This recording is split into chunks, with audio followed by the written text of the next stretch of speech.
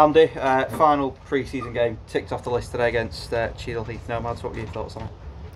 Uh, obviously disappointing first half because we conceded, uh, you know, the goals the way we did. But again, I think it was just, um, you know, chances we've created and we haven't put away again. So, you know, like I think I said this uh, this time last year in terms of, you know, it's uh, it's always a good time to go into the season when you've got to still be asking questions of, of you know the players and, and, and where we're at. And you know I've no doubt they've put the work in now. And uh, today was a good test. And like I said last year there's no friendlies when people play Bury. And, that, and that's been the case all pre-season. So you know the lads have put an immense amount of work in. Um, really happy with where we're at fitness wise and that.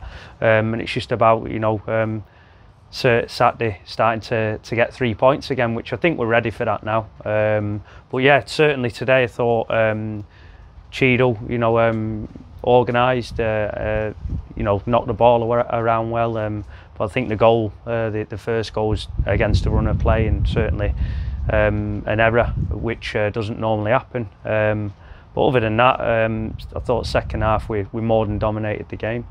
You mentioned there about still having things to, to be able to, to work on for, for Saturday. Would you rather be in this position than maybe have won all the, the games or a majority of games in pre-season?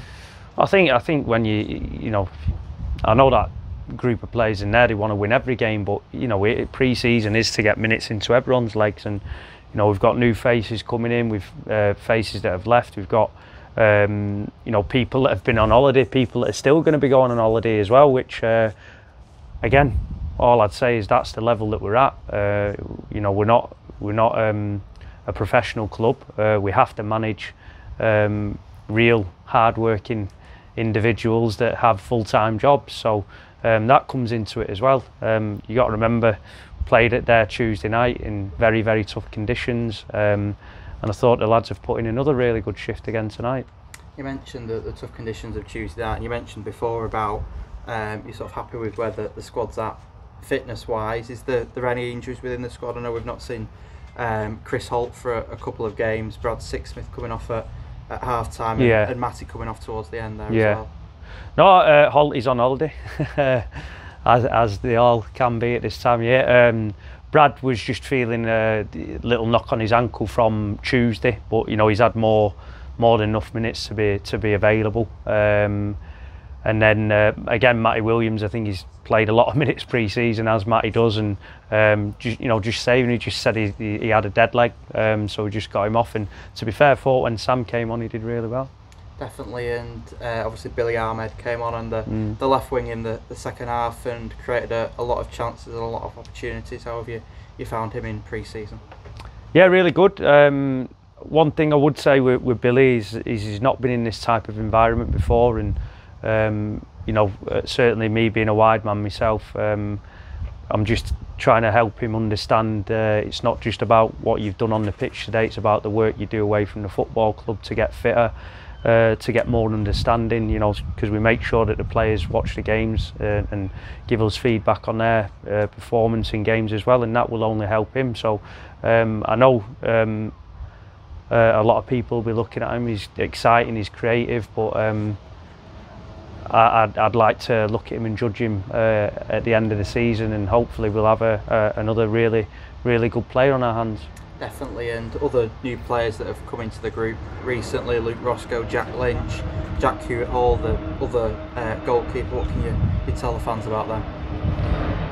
Uh, to be honest, they're just players that we've uh, kind of picked up from uh, the trial day or, or just you know through other other people um, letting us know about him. Uh, Jack Lynch, uh, I've known Jack since my time at Carlisle, fantastic football player, but unfortunately the last couple of years he's um, he's had to have a, um, a, a, a surgery on his hamstring, which um, this is the first time he's kind of back up to speed with uh, football really. So uh, I thought he was really, really good against Stockport Town. Uh, and then he got through it at Atherton but he actually had a slight tear in his hamstring so that's why I've not seen a lot of him but he's been out here today doing some work uh, we'll train again Monday and, and, hopefully try and get him up to some sort of speed. And looking at, at Saturday um, obviously it might be a pre-season cliche but some people say that you, you start in 11 in your, your last pre-season game is pretty comparable to to what you start in your first league game. Is that true in, in your sense today, or is the all Um, no, I, I, I'll be honest with you. Even today, I wanted to, to look at a few things and, and see how we um, compare with certain plays in certain areas, and um, they know my thoughts where I'm currently at and, and what needs to be to be done. But again, nothing's going to be won, lost, or, or drawn on the first game of the season. We're looking at having a strong start, start to the season. But like I've said all year, and I'll, I'll continue to say it to the fans throughout, whether we win, losing, or drawing, is that uh, you know it's all about us together again. Uh, all about getting uh, the stadium rocking, getting behind the lads because you know they'll put in shifts left, right, and centre like they did last year. Um, and we need everyone again. We need everyone at it because you know we, you know, everyone wants to beat Bury, and you've got to take that uh, on board. You've got to take it and build that resilience up. And um, certainly, I know that we'll, as a group, as a, as a football club, uh, it'll be a tough challenge because we're going to the next level. So it ain't going to be um, as easy as what you know people may think, and I know people are probably tipping us to to be up there, but you know I'll tell you something: we won't be complacent, um, and you know it, we need to, to to do certain things better than what we did last year, um, and that'll show growth not just on you know as a football club but on the playing side as well.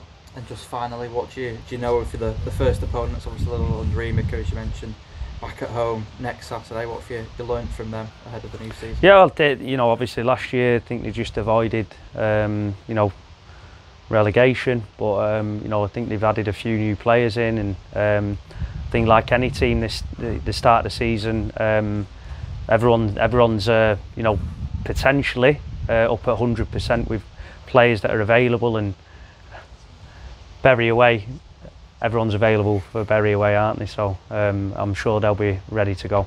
Brilliant. Cheers, Andy.